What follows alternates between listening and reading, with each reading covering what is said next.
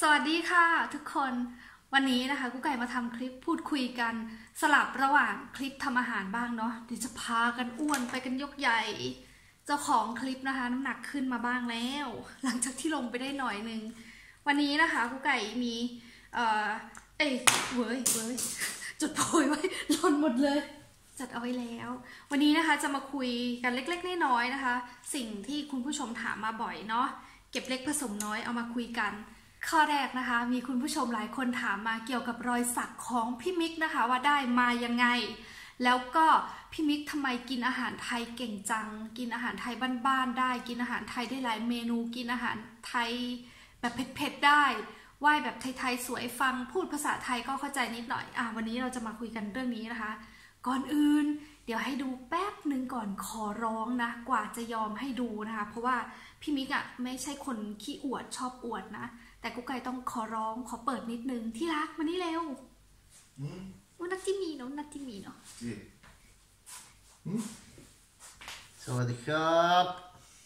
ขออนุญาตนะคะเพอร์เมสโซได้ใช่ไหมนิดนึงนิดนึงนิดเดียว มองเมียแบบว่าไม่ค่อยเต็มใจ นี่นะคะอะให้ดูนิดนึงอึ๊บอึ๊บอึ๊บอึ๊บอึ๊บอึ๊บนี่นะคะ เป็นรอยสัก ที่มาจากไทยทั้งหมดเลยนะเดี๋ยวตรงนี้ตรงนี้ อ่า พอแล้วนะคะ ปิดตึ้งดึงขอบคุณนะคะที่รักร้านเชียงเป็นไรครับรอยสักบนหลังพี่มิกเมื่อกี้นะคะ ได้มาจากไทยทั้งหมดเลยนะคะ แล้วก็เป็นฝีมือของพระนะคะ สักด้วยมือล้วนๆเลยนะ จากวัดบางพระนะคะ พี่มิกเป็นศิษย์ของหลวงพ่อ หลวงพ่ออะไรเทตุอาจิ เอ้ยลองพบกันหลวงพ่อเปิ่นอู้เก่งมากเลย ถ้าใครเคยดูนะคะ คลิปที่กุ๊กไก่เล่าตอนที่เจอกับพี่มิกนะคะ ก็จะรู้ว่าพวกเรานะคะ รู้จักกันเพราะวัดบางพระนี่แหละ พี่มิกนะคะ ตอนเจอกันครั้งแรกกับกุ๊กไก่กลางแผนที่มาเลยนะ ไม่รู้ทำไมเลือกเราคนเต็มห้างไปหมด เมื่อก่อนกุ๊กไก่ทำงานอยู่บริษัทขายที่นอนนะคะ ต้องไปต้องไปตามสาขาห้างนะคะ ไม่บอกว่าห้างไหน ห้างดังของประเทศไทยเลยแหละ พี่มิกก็ไปเจอนะคะ แล้วก็ไปถามเราว่า วัดบางพระอยู่ตรงไหน เขาอยากจะไปสักกับพระนะคะ อยากจะไปสักกับหลวงพ่อเปิ่นเพราะว่าเขาเคยดูทีวีที่อิตาลีเคยดูสารคดีเนาะครั้งแรกนะคะกุ๊กไก่เป็นคนพาไปคำถามเนี้ยที่เขาถามว่าวัดบางพระอยู่ตรงไหนน่ะ มันมาเป๊ะตรงเราพอดีกุ๊กไก่ไม่เคยรู้จักวัดบางพระ ได้ยินบ่อยนะคะ ไม่เคยไปได้ยินหลวงชื่อของหลวงพ่อเปิ่นนะคะ ได้ยินบ่อย เพราะว่าน้องชายนะคะ น้องชายเป็นลูกศิษย์หลวงพ่อเปิ่นน้องชายกุ๊กไก่ในบ้าสักมากเหมือนกันไปทุกเดือน บางเดือนสองรอบนะ เพราะฉะนั้นคำถามนี้นะคะโอ้ฉันรู้ดีเลย ครั้งแรกนะคะ ที่เขามาถามก็บอกเฮ้ยฉันไม่รู้หรอกนะ แต่น้องชายฉันน่ะรู้ดีมากเลยเดี๋ยวฉันถามน้องฉันให้กุ๊กไก่ถามน้องชายนะคะแล้วก็พาเขาไปครั้งแรกนะ ครั้งแรกที่ได้มานะคะเป็นห้ารอยสักห้าแถวเขาเรียกยันห้าแถวเนาะตรงที่ไหล่ของพี่มิกนะคะ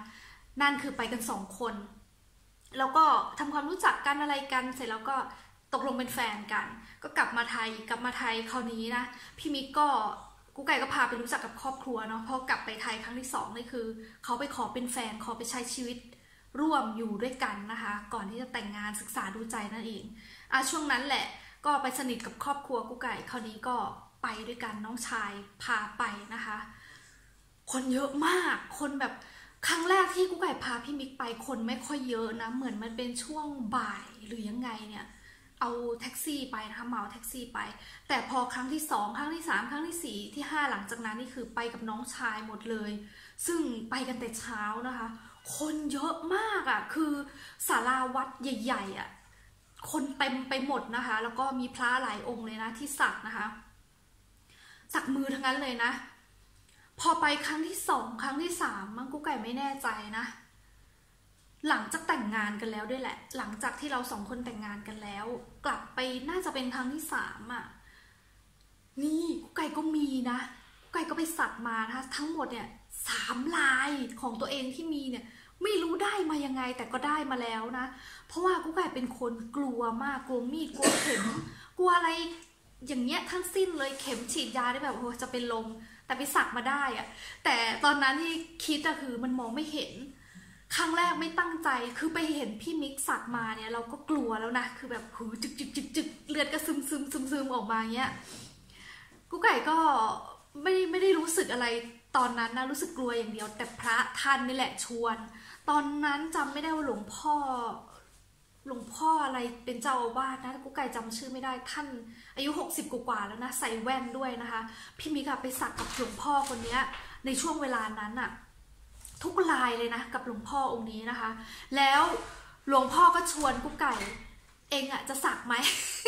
อุ้ยตอนนั้นอะแบบมีผู้หญิงอยู่ไม่กี่คนเองนะคะ ที่ไปเราหันมองเฮ้ยมีผู้หญิงไม่กี่คน เราไปเป็นเพื่อนสามีเป็นเพื่อนน้อง ก็บอกอะ ก็ได้พี่มิกเขาก็อยากให้สักนะ พี่มิกบอกเป็นสักจากพระมันไม่เป็นไรหรอกลองสักดู โอ้โหเจ็บแสบอย่าบอกใคร แต่ด้วยความที่แบบมันเสียวน้อย เพราะว่าเรามองไม่เห็นไงมันอยู่ข้างหลังอย่างเงี้ย แต่เจ็บแสบมากเลยนะเจ็บมากเลย แต่ก็ไม่รู้ได้มายังไงตั้งสามลายนะแต่พี่มิกอะคือครั้งละหนึ่งลายนะที่ไปนะคะกูไก่ก็จำไม่ได้แม่นว่ามีทั้งหมดกี่ลายดูดิจำไม่แม่นนะ กูไก่ถามพี่มิกพี่มิกตอบทันทีเลยนะ กูไก่นึกว่าจะต้องเป็นนับนะเจ็ดเจ็ดลายนะคะเจ็ดลายโหเยอะเหมือนกัน เชื่อไหมแต่งงานกันมาสิบเอ็ดปีกว่าไม่เคยนับร้อยสักพี่มิกนะ จากพระนะคะเจ็ดลาย แล้วก็จากช่างสักที่เมืองไทยนะคะ อีกหนึ่งคนที่พี่มิกติดใจฝีมืออยู่ที่เซียรังสิตอีกสองลาย แขนข้างซ้ายแล้วก็ข้างขวานะอันนั้นเป็นรอยสักจากช่างสักปกตินะคะ ข้างหลังนี่จากพระทั้งหมดเลย และนี่นะคะ มีคนถามว่ากุ๊กไก่คล้องตะกรุดอะไร หลวงพ่อเปิ่นนะคะ พวกเราเป็นศิษย์หลวงพ่อเปิ่นนะ เพราะว่ากุ๊กไก่รู้สึกศรัทธานะ เมื่อก่อนคือเฉยๆอะไรกับเรื่องพวกนี้นะ เกจิอาจารย์พระเจ้าอะไรไม่ค่อยสนใจนะคะ เพราะเพราะว่ามันเป็นเรื่องไกลตัว เมื่อก่อนเราทำแต่งงานเราไม่ได้ไม่ได้ไปไหนไม่ได้สนใจอะไรเรื่องพวกนี้ แต่พอรู้จักกับพี่มิกเนาะพี่มิกมาถามว่าบัดวัดบางพระไปทางไหน คือเรามาฉุกคิดอะเหมือนกับ คำถามเนี้ยทำให้เราได้รู้จักกันแล้วก็แต่งงานกันเนาะซึ่งก็เลยรู้สึกศรัทธานะคะ แล้วก็เคารพ แล้วคงอายุมากขึ้นยิ่งใกล้พระใกล้เจ้ามากขึ้นด้วยนะบุเพสันนิวาสนะคะพราะหลวงพ่อเปิ่นท่านจริงกูไก่ถือศีลนะสามข้อ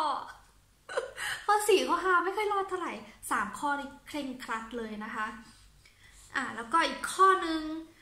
ทำไมพี่มิก กินอาหารไทยได้เก่งจัง กินเผ็ดเก่งนะคะ แล้วก็ฟังภาษาไทย พูดภาษาไทยพอรู้เรื่องนิดหน่อยนะคะ แค่รู้เรื่องนะไม่เยอะนะ แล้วก็รู้จักวัฒนธรรมไทยนะคะไหว้ก็สวยนั่งพับเพียบก็ได้ เมื่อตอนแต่งงานกัน เดี๋ยวเอาเท้าความไปไปพื้นเพนิสัยเขาดีกว่า พี่มิกอะตอนที่เขาเป็นหนุ่มๆนะคะ เขาเคยได้ไปอยู่อินเดียหกเดือน เมื่อตอนอายุ 22 avevi 22 anni quando sei stato in India อืมพี่มิกเคยไปอยู่ที่อินเดียนะคะ อายุเมื่ออายุ 22 ไปอยู่ 6 เดือนกับเพื่อนของเขาเพื่อนๆ ไปกันหลายคนเลย ซึ่งไปอยู่ในประเทศที่ยากจนนะคะ จากจากประเทศบ้านเกิดนะ ที่เขามาจากครอบครัวที่ดีกุ๊กไก่กล้าพูดนะ พี่มิกมาจากครอบครัวที่ดีมากนะคะ แล้วก็ ได้ไปสัมผัสความยากจนในอินเดีย คือก่อนหน้านั้นอะก่อนที่จะอายุ 22 พี่มิกก็ไปหลายประเทศมาพอสมควร เพราะว่าอย่างที่เรารู้เนาะฝรั่งอะพออายุ 18 ปุ๊บเนี่ยเขาสามารถออกนอกประเทศได้โดยไม่ต้องไปกับพ่อแม่เนี่ยเขาก็ไปกันเลยนะคะทำพาสปอร์ตไปเที่ยวตรงนั้นตรงนี้ แรกๆก็จะเที่ยวในยุโรปก่อน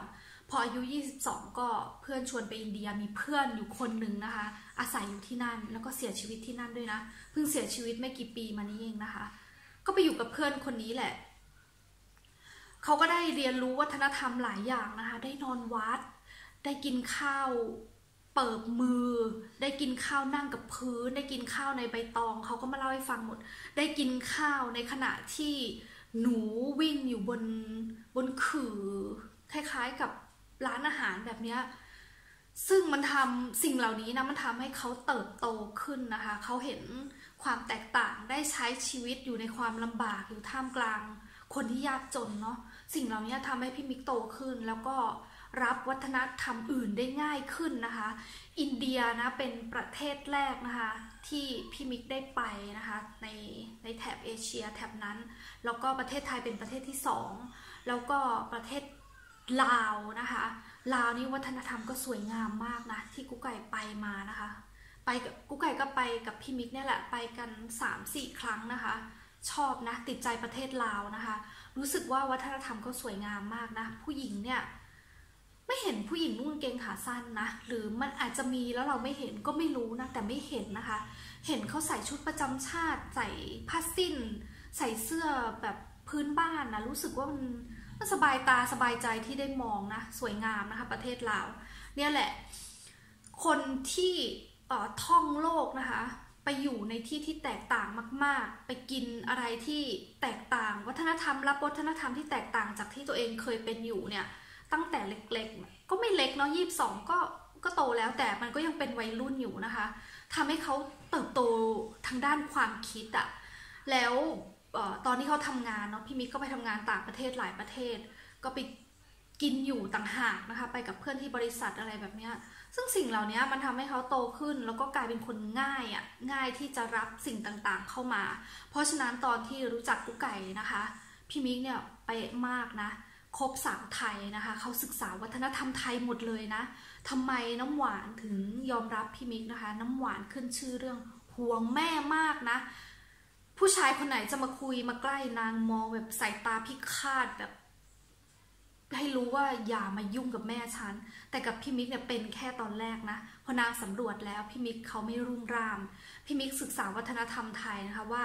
คนไทยประพฤติตัวอย่างไร ไม่แตะตัวไม่จับมือไม่อยู่ใกล้ไม่ ไม่มาประชิดโดนเนื้อโดนตัวนะคะ เวลาคบกับผู้หญิง ให้มีมารยาทให้เป็นสุภาพบุรุษมากๆ เขาก็ทำแบบนั้นตลอดเลยนะ แล้วก็ศึกษามานะคะ วัฒนธรรมไทยการทักทายเป็นอย่างไร อยู่ต่อหน้าผู้ใหญ่พี่มิกเนี่ยอยู่เมืองไทยที่น่ารักมากเลยนะสำรวมญาติของกุ๊กไก่นะใครๆก็รักนะกลับมาอิตาลีเหมือนนางมารมากเลย และอีกอย่างหนึ่งที่กุ๊กไก่ชอบมากเลยนะข้อนี้พี่มิกศึกษามาเองไม่ได้บอกเลยนะคะ กิริยามารยาทในการไปวัดเนี่ยพี่มิกอะชอบเที่ยววัดมาก เจอกันครั้งแรกนะ ตั้งแต่ครั้งแรกเลยที่ยังไม่ได้เป็นแฟนกันนะคะ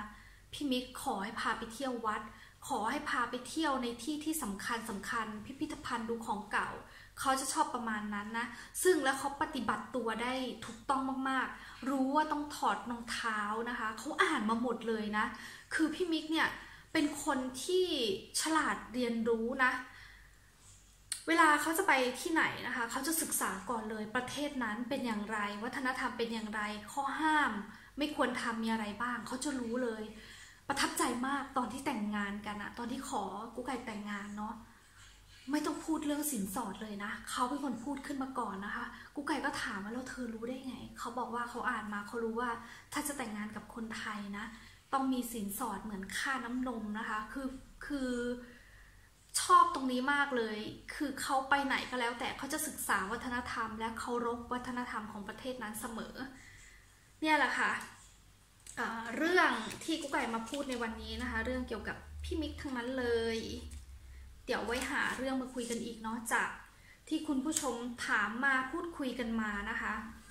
รอให้ผ่านไปก่อน พี่ปอพี่ปอพี่ปอพี่ปอทั้งวันเลยอะไปแล้วนะคะ เอาไว้เจอกันใหม่คลิปหน้านะคะ สวัสดีค่ะ